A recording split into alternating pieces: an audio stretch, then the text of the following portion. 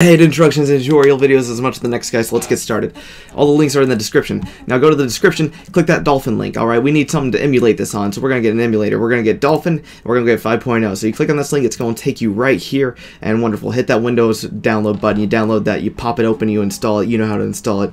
Now, we go on to move to the next thing. Next thing you're going to need is a torrent service, and we're going to go ahead and select this one, utorrent.com. There we go, download. Now, click on that link in the description down there, and we're going to bring it up here. Now, you don't want to hit the buy uTorrent Pro. Don't do that. Just get the free version right below it. Download that, uh, pop it open, run it, and install it. You know, it'll bring up a little, uh, little happy little icon on your desktop. There you go. So, we got those two things. That's great. So, you're going to make sure Dolphin works. You pop that open. Okay, hey, it works. There we go. We installed it. That's great. Now, it doesn't have any ROMs to run because we don't have any ROMs. We're going to click on uTorrent right here. And this is where that big old link in the description comes in. And like, what the heck is that? All right, well, we're going to take that link. You're going to copy and paste it. You're not going to click on it. You're going to copy and paste it. Now, whenever you open uTorrent, you're going to have like a little blank slate here. It won't say Super Smash Bros. Melee off the bat. It just doesn't read your mind. Be like, yo, bro, you want to download that? You're going to click on this link right here. And then you remember that Lego long link that we were talking about earlier? that you want to copy. Now we're going to paste that sucker right here, man. Yeah, we're going to paste it. All right, and then we're going to hit the OK button, and it's going to be like, hey, you want to download this? Well, mine says, do you want to download it again? I'm going to be like, no, but you want to hit, yeah, I do want to download that, you son.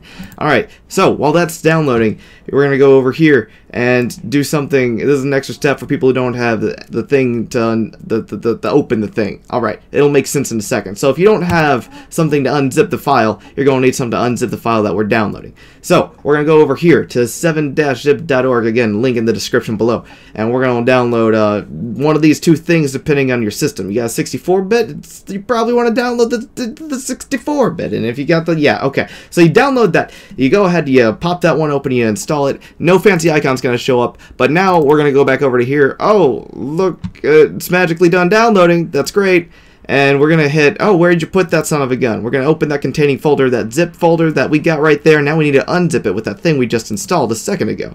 We're going to right click it. Oh, look at that. We now have another option, 7-zip. Okay, hey, that's great, man. Let's go ahead and uh, extract the file. Now you can extract it in the same folder so you know where to find it, or you can extract it somewhere else, extract files uh, where you want to put this son of a gun. There you go. There you go.